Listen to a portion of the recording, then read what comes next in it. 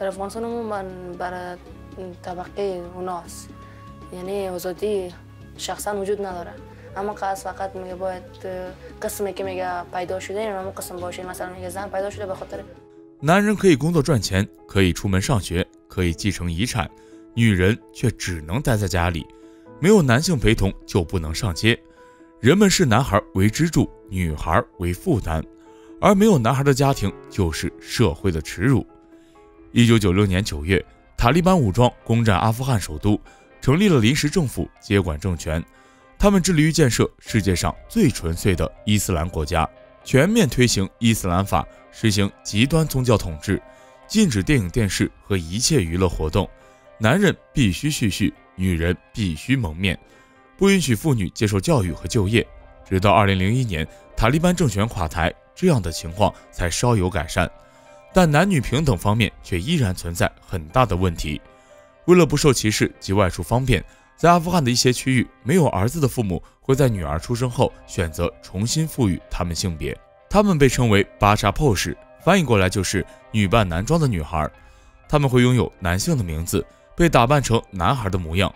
可以单独出门买东西、上学、工作，已经没有人记得这种习俗是怎么来的了。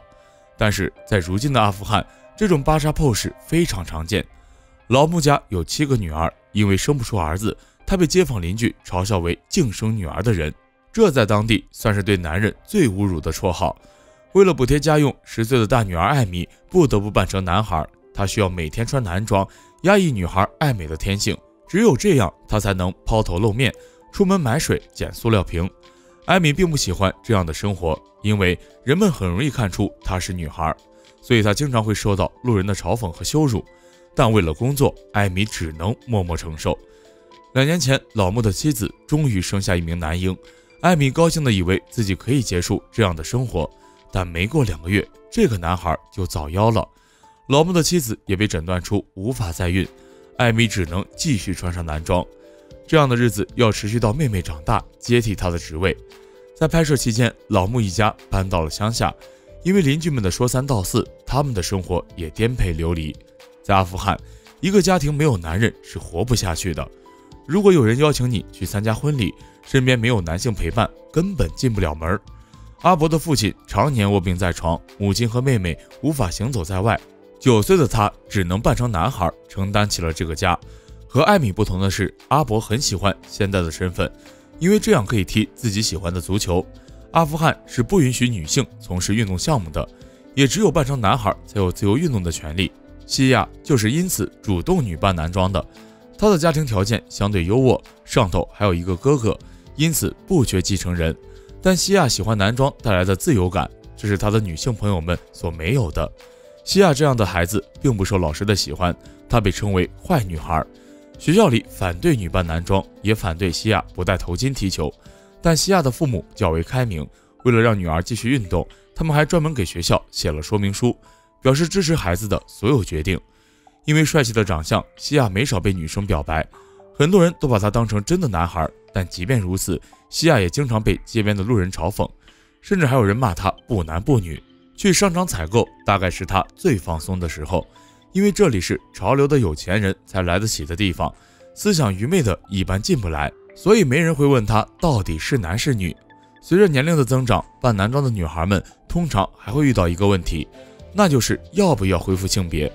很多女孩到了适婚年龄都会被强制要求嫁人，因为长时间抛头露面过，这些女孩很少能找到好丈夫，她们大多都会嫁给亲戚。二十岁的小范为了逃避嫁人，几乎脱离了家庭。她没有朋友，没有社交。白天他是普通的打工族，下班后他是去掉头巾的跆拳道教练。这里是阿富汗唯一一家女性跆拳道馆，它就藏在偏僻的地下室里，没有任何宣传和广告。小范学习跆拳道，一是为了保护自己，二是因为热爱这项运动。在日常生活中，小范谨记运动员的准则，不训练的时候，他从来不随便踢人，暴力只是迫不得已的选择。晚上，小范来到夜校上课，教室里坐满了男孩，小范显得异常突兀。但他喜欢这样充实自由的感觉，他也不打算结婚生子。阿富汗不是人人都能上得起学校的，阿伯就只读过一年书，因为家庭条件困难，他只能上伊斯兰经学院。西亚也是不打算换回女性身份的，他不愿意舍弃自己作为男性的自由和特权。尽管母亲经常对着他唠叨，还总想给他买女性服装，大多情况下，那些不愿意换回来的女孩只能学会忍耐和低调做人。她们无法正常婚恋，无法正常社交，像小贩一样熬出头的屈指可数。其实，小贩本身也承受了许多压力。他后来拒绝拍摄，就是因为公司传出了闲言碎语。他不想暴露自己下班后的另一个身份。虽然努力挣扎了，改变了，但是他们依旧被压制、被限制。他们的能力才华在有些人眼中一点儿也不重要。导演问过西亚这样一个问题：如果你和一个男生相互喜欢，但他要求你变回女生身份，你会接受吗？西亚的回答非常干脆。